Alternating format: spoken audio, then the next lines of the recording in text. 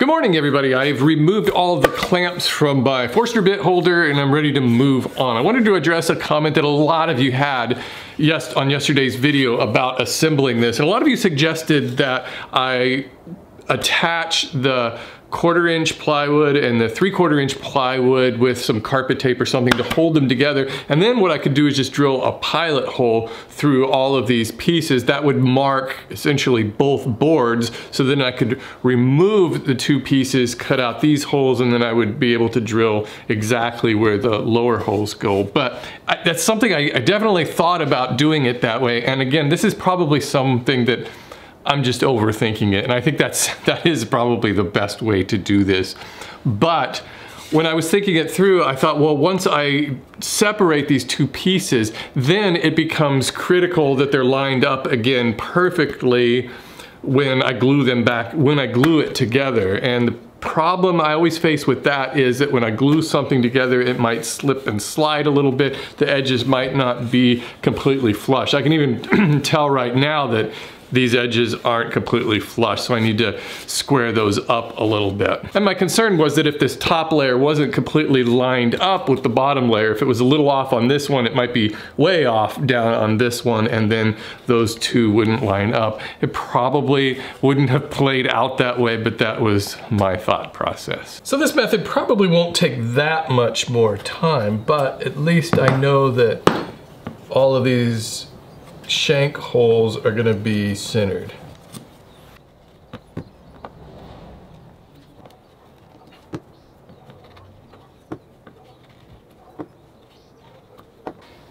But you guys are always filled with good suggestions. I love reading through the comments and it's one of the advantages of making these videos in multiple parts is that I can read your suggestions and then implement them, at least some of the time.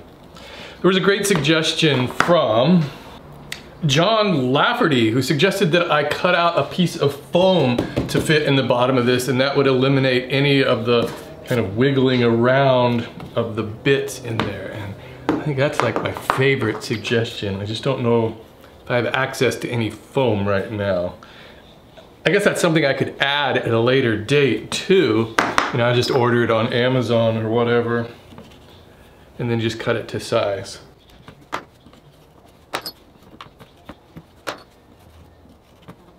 These last four are gonna be a little bit more challenging. This one, 3 8 inch bit, the head is the same size as the shank, so that's the same size as that hole. So that'll just drill all the way through.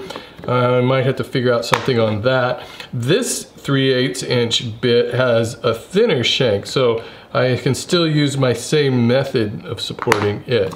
Then on these quarter inch ones, now this is gonna be another problem. It looks like the head is the same size as the shank on this one, but this one has a bigger shank than the hole. The head is real small up here, so I don't know. I'm gonna give this one some thought. And there's a few different shank sizes on these bits. These first five, the five largest bits, have a 5 8 inch shank. So I'll drill those out first.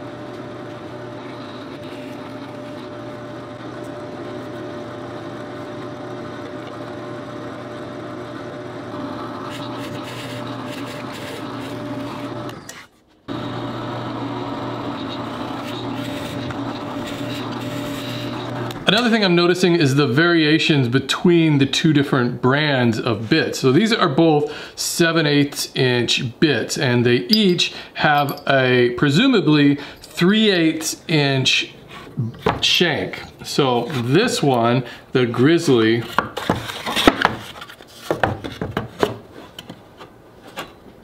won't fit into that 3 8 inch hole without forcing it in. Whereas this other brand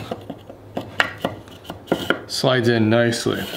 In addition to that, I've noticed kind of paper thin differences between the diameters of one and the other, at least on some sizes. On this 3 8 inch bit, that's a 3 8 inch bit, to bore these holes, they're identical. So one way or another, I just have to enlarge some of these holes a little bit. I think it's important to keep in mind that woodworking doesn't require tolerances that tight anyway. So I doubt if that will ever become an issue. Possibly if I needed to drill a hole that a dowel would fit into in just a perfect way. But that also could be variations in the diameter of the dowel. It's one of the reasons I like woodworking is because there's a lot more wiggle room to it than you know, other types of maybe metal fabricating or machining. So what I decided to do is just kind of ream these out a little bit with a regular drill bit.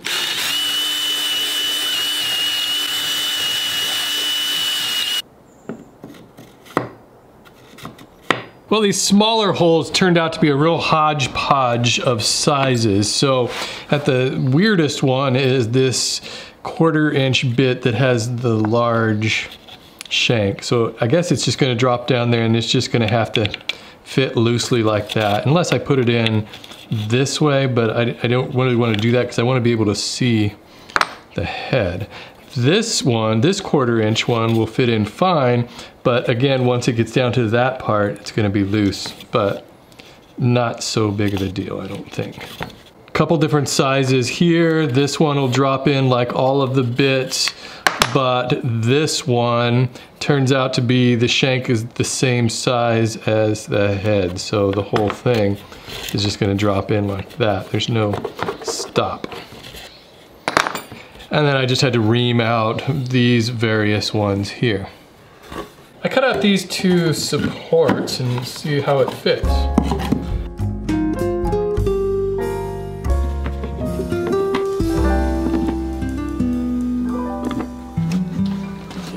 test. A little bit too much. Let me shave a little bit off of those.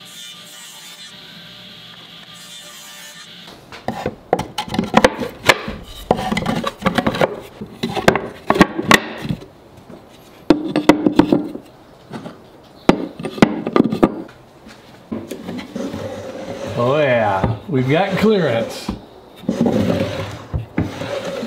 Wow, I'm really glad I left that blank area back there because that means I can just pull the drawer out and stop it like that.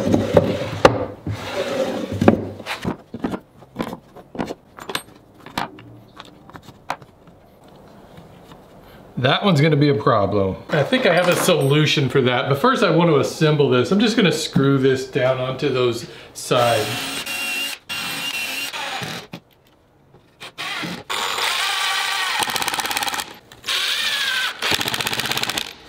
So these smallest six are the oddballs and it looks like they'll fit fine. It's not like this is going to fall out of there. So I think that'll be okay. And same goes for the rest of these. This one's a little weird, but again, it's not gonna fall out of there. This is the odd one here that just drops all the way down because it's so short. So I think the only thing I need to do here is just put a little block under there.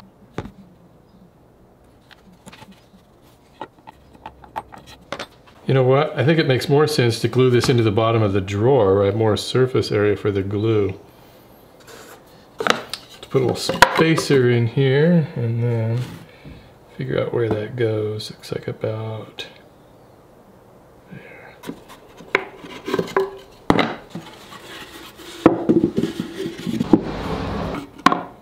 Yeah.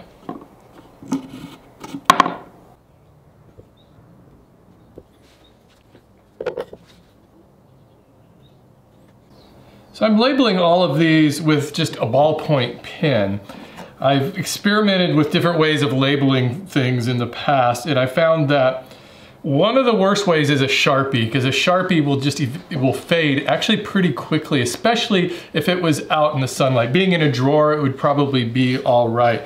But in my experience, if you want to hand label something and you want it to last, especially if it's out exposed to the sunlight, is use a pencil and cover it up with lacquer, polyurethane, or whatever. Pencil graphite just lasts for a long, long time. I don't think it ever fades. Also, I sanded this top down with 220 grit sandpaper before writing these on there. I've got an antique dresser, a chest of drawers. It's been in my family for a few hundred years. And on the back of it is some, some writing in pencil. And that was probably put there about around 100 years ago. And it doesn't have any protection over it.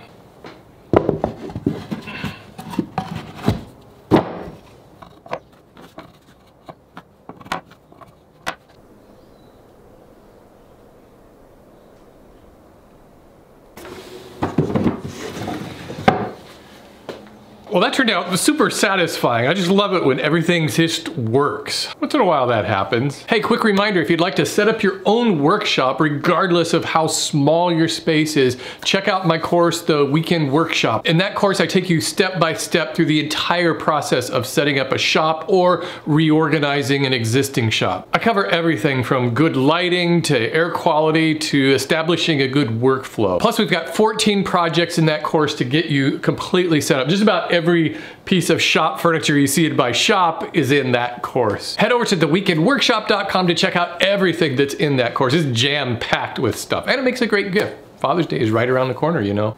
That's all I got for today. I'll see you guys next time. Thanks for watching.